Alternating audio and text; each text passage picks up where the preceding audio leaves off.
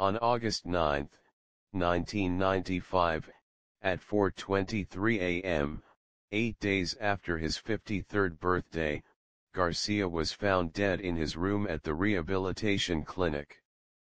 The cause of death was a heart attack. Garcia had long struggled with drug addiction, weight problems, sleep apnea, heavy smoking, and diabetes all of which contributed to his physical decline.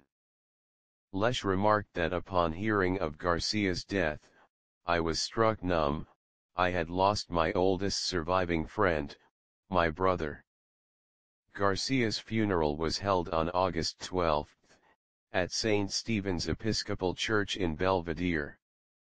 It was attended by his family, the remaining Grateful Dead members, and their friends, including former basketball player Bill Walton and musician Bob Dylan, and his widow Deborah Koons, who barred Garcia's former wives from the ceremony.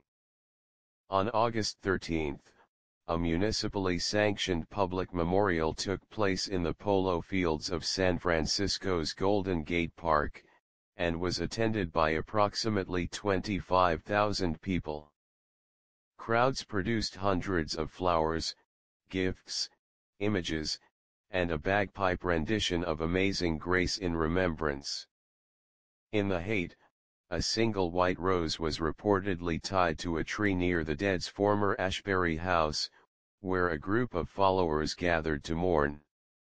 On the morning of April 4, 1996, after a total lunar eclipse earlier that day, Weir and Deborah Koons, accompanied by Sanjay Mishra, spread half of Garcia's ashes into the Ganges River at the holy city of Rishikesh, India, a site sacred to Hindus. The remaining ashes were poured into the San Francisco Bay. Koons did not allow one of Garcia's ex-wives, Carolyn Mountain Girl Garcia, to attend the spreading of the ashes.